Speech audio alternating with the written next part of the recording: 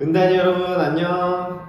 저는 일단 은혁이의 은혁입니다. 2021년 4월에 이 일단 은혁이가 이제 오픈을 했고 여러분이 한 해 동안 또 사랑해 주신 덕분에 일단 은혁이로 계속 여러분을 만날 수 있게 됐습니다. 네. 일단은 2022년 이민년 새해 여러분 새해 복 많이 받으시고요. 이 호랑이의 해 아니겠습니까? 제가 또 호랑이 아닙니까? 호랑이띠입니다 여러분. 86년생 호랑이띠. 그래서 올해는 정말 기가 막히게 정말 야심차게 여러분과 한 해를 좀 찢어볼까 합니다.